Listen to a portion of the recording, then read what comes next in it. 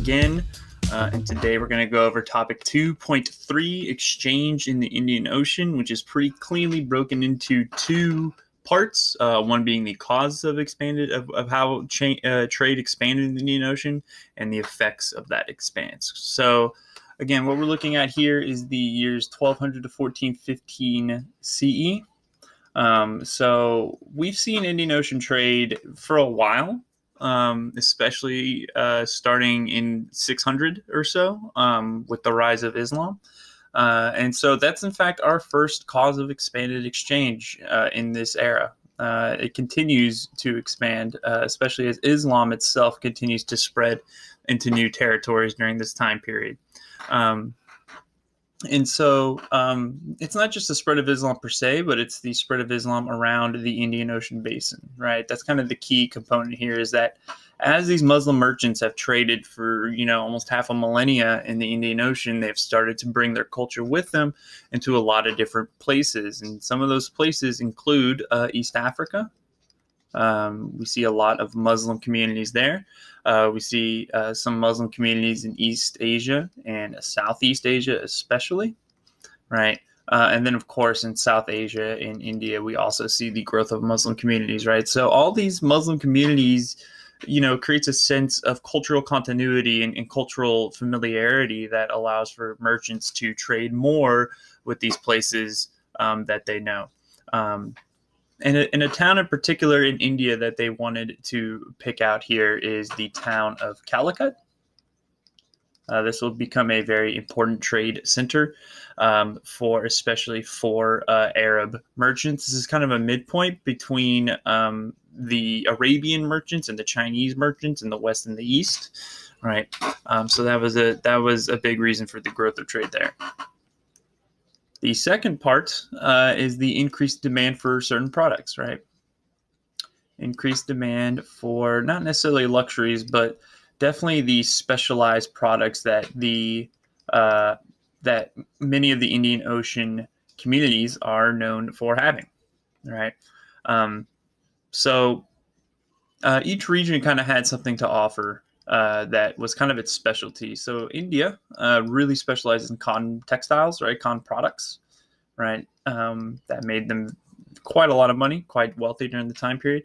Um, Southeast Asia, uh, especially Indonesia, right, uh, is very well known for its spices. Uh, let's actually call this the Southeast Asian um, instead of calling it Southeast Asia, yeah, let's just go ahead and, and say it is Malaysia and Indonesia, uh, especially Indonesia. Uh, Indonesia itself will become known as the Spice Islands, right?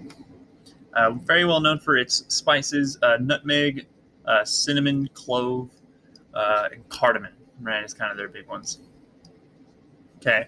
Um, from the Swahili coast in Africa, what we see uh, and traded quite a bit is kind of our three go-to goods out of Africa: uh, ivory, uh, gold, and slaves.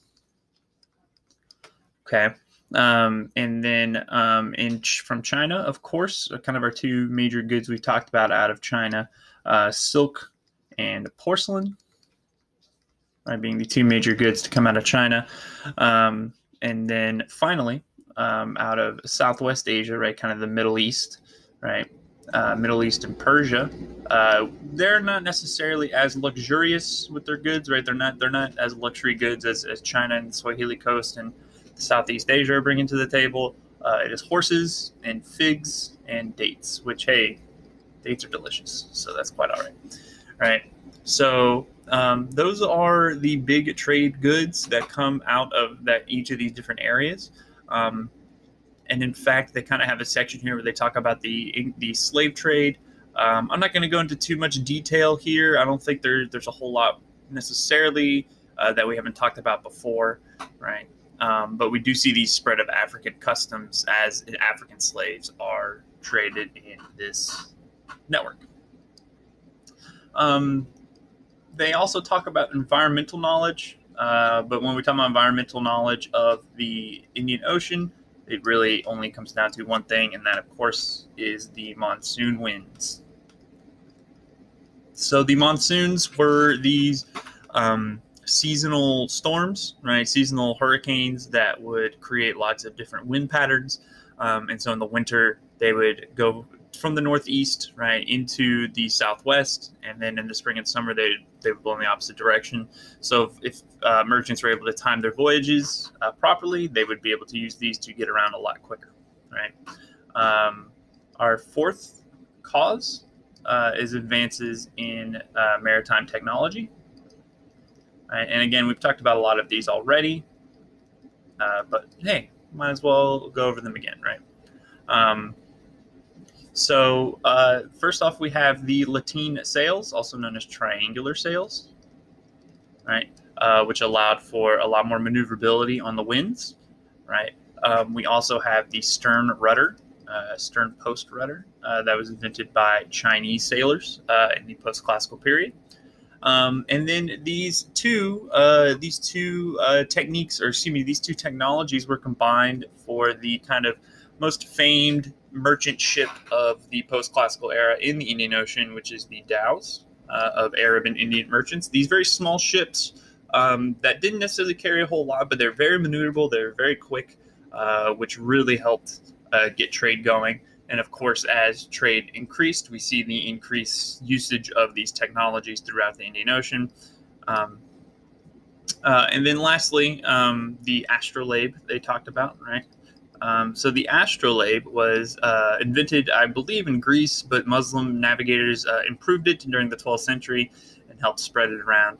Um, and they didn't talk about this for some reason. I'm going to bring it up though. It's got to be the compass, right? The compass is a huge technological innovation, right? That helps grow trade.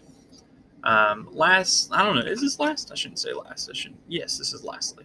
Uh, lastly, and not leastly, uh, is the growth of large states um, within the Indian Ocean basin. So um, we've talked about this when it comes to the Silk Road already, but when you have large states, they tend to want to protect trade a lot more, which makes trade a lot more safe uh, than usual from pirates or bandits or, or whatever. Um, and one thing I particularly wanted to point out, which um, I kind of thought they would talk about this earlier, but I'm glad they're bringing it up, uh, is the state of Malacca. Okay. Um, the state of Malacca um, became very strong uh, via taxing and protecting uh, trade um, via with building a strong navy to protect trade and then also taxing trade uh, through the Strait of Malacca. Right, which is in Southeast Asia, which basically, um, uh, you know, it, it uh, controlled trade from the South China Sea uh, into the Indian Ocean, right? So um, they became very, very powerful by controlling that um, and taxing it. Um, and so um, this kind of comes to an end with the Portuguese invade, right? Um, and they kind of they had a little discussion about Portugal, but I'm not going to get too much into that right now. The effects of Indian Ocean exchange. Okay, so our first major effect is the uh, growth of what are called di- diasporic, diasporic, diasporic, uh, diasporic communities. Okay, so if you haven't hit this word before, uh, this word tends to be associated with the Jewish diasporas. Um, the first one coming during the um, uh, the Babylonian conquest of Jerusalem, uh, way way long ago. Uh, the second one coming during the Roman conquest of Jerusalem, uh, in the I want to say the 100s BCE, first century BCE, maybe, right? Um, and so when we see this happen, um, we start. So so so what happens here? So what we see is that merchants uh, tend to um, instead of necessarily uh, moving around. Um, you know, or, or, maybe staying in living in an area that's not necessarily central to the Indian Ocean trade, right? We start to see um, uh, merchants from from Arabia, right, and East Africa, instead of staying where they're from, uh, they start to migrate into uh, the center of the uh, Indian Ocean trade, uh, which is the southern Indian port cities. All right, so we see them move here to be central to trade to help control their trade routes, right, and their businesses and stuff like that, right. Um, and they would marry women uh, from these West Indian port cities, right? Um, we also see um, Arab and Persian merchants moving to East Africa. Um, again, as well, they're not necessarily as central, uh, but East Africa is more important than um, the Arab areas and Persia uh, in terms of this kind of ma- major trade network, right? Um, and so what we're seeing here is that um, these groups, of course, right, these Arab and Persian merchants, right, are, are going to bring Islam with them uh, into these new areas, right? They bring Islam with them, uh, of course, because they, you know, they practice it, right? Um, and then instead of uh, converting people through conquest or through missionaries, uh, they convert people via marrying into these local communities, right, and help spreading it kind of more naturally, right, than than what conquest would do, right. Um, and so these communities are what we would call diasporas, right? These settlements of of people away from their home, right? So that is what a diaspora is, right? Is the is the settlement of settling of people away from their homeland. Now, um, sometimes we kind of talk about it as more of a large scale thing. Um, uh, uh, you know, with the Jewish diaspora, right? It's almost like the entire community has to move away, right? And this isn't necessarily the entire community, right? But we are seeing large sectors or large sections of Arab, Muslim, Persian, Muslim society move away from their homeland into these new areas, right? Um, and they introduce their own cultures uh, and are in turn in, introduced to the cultures of these other areas, right? And so they're kind of pointing out a, a few different um, uh, diasporic communities, maybe not even just during this uh, uh, era, but other eras as well. Of course, we're talking about the Muslim diaspora here. Uh, there's also a Chinese diaspora into places like Southeast Asia and Africa. Sogdian, um, which is the kind of Samarkand merchants, right? Samarkand people. They move along the Silk Roads. Um, the Jewish diaspora, of course, we have talked about. Uh, they will make their way into places like China, India, and of course Europe.